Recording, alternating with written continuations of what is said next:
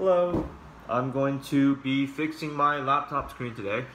Um, this laptop is the Asus ROG GL551JX.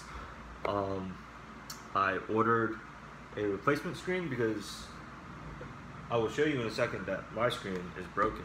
So I've already taken this out, this broken screen out, but I'll show you how to take it out um, right now.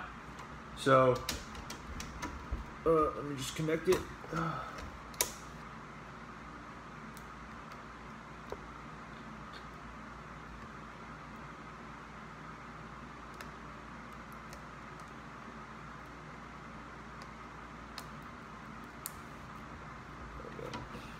So it, the laptop screen was just um, sitting in its chassis and I will turn the laptop on.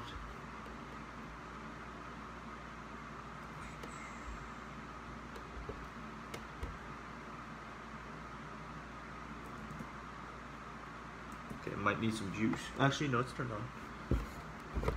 Maybe.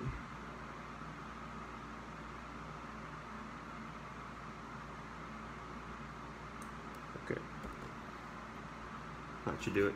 Okay, so as you can see, I cracked it, and there was it was doing this weird thing where um, if I twisted it, like the screen would change colors, and sometimes it would show the picture, but sometimes it wouldn't. Like you could see the picture now, but as soon as I let go of twisting it, it would go into this weird pixelation color thing. And then I also, when I was trying to toy with it, I cracked a bunch of the, the screen.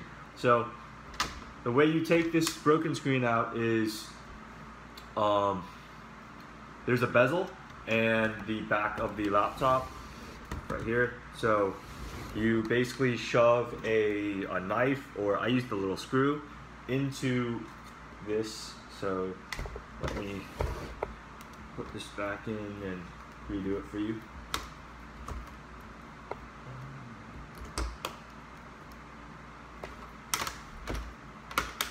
Okay. So this is what it, your laptop or this laptop would look like. Um, and so all you do is you take your screwdriver, shove it in between the, oh, well, turn it, you should turn your laptop off. Um, let me do that right now, okay? And you shove it in, uh, right there, and then this part pops out, and then you should be able to just pry it out. It might take a little uh, bit of strength, like you might have to, like, pry one part at a time, or one segment at a time, but you should be able to get it out. You could probably pry this whole bezel off, but um, the bottom part's pretty, I need smaller fingers or I need to pry it off from the back and I am lazy. So we take, there's four screws. Um, so one here, one here, and then two down here. Um, and all you do is unscrew them and I put them in this little container. You should you should have a little container for all your screws. Um, you unscrew them with a little screwdriver and then you tilt the screen forward and then there's a 30 pin connector. Um, you should see it, it's right here. Uh, I will show you after I unplug it. So there should be some tape. You undo the tape and you just pull out the connector. And there's your broken screen, throw that away. And then this is your 30 pin connector for your new screen. This thing, if you can see that. Um, then I ordered a new screen from laptopscreen.com. Came here really quick, it was great. Um, then you find the same 30 pin connector. Make sure when you're um, when you get your laptop screen to compare the two. Um, see, they have to be like the same size pretty much and the same layout um, for this to work and they have to be compatible. Or this screen has to be compatible with the computer. So I already did that check this it's the same uh, except this one's glossy and that one's matte. Um, and you plug in the 30 pin connector. Um, and make sure it's really in there. The first time I did this I had a I didn't plug it in all the way and it didn't work and I was wondering why. Um, and it was just me being dumb. So make sure you really get it in there and make sure it's plugged in correctly.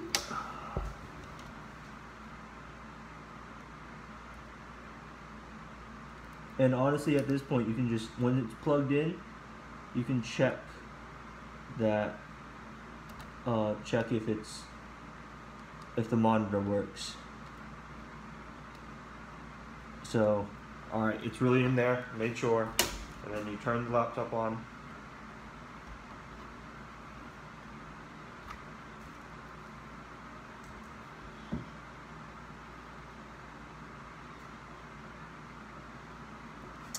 Oh wait, does this?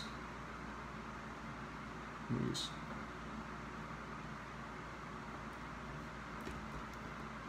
Okay, it's turned on. So now you can see the laptop screen is um, working. It's saying preparing automatic repair, whatever. It's prepping the screen. I don't know what's doing. Um, and so it's working. So the screen works. Um, so now I'm gonna turn off the laptop again.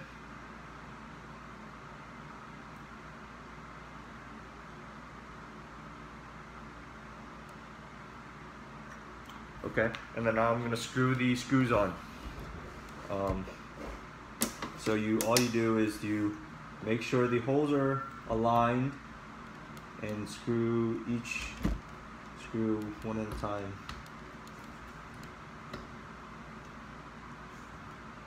Okay, so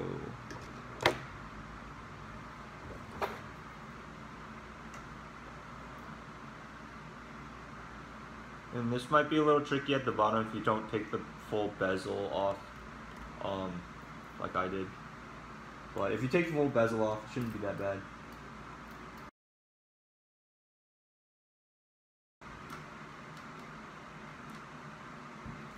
Okay, alright, that took me a little while, but all the screws are in. The screen is secure in its place. Um, all you do is snap the bezel back in sure you get hear a lot of these like clicking sounds. Make sure you get every one of them back so that the bezel's tight all the way to the bottom.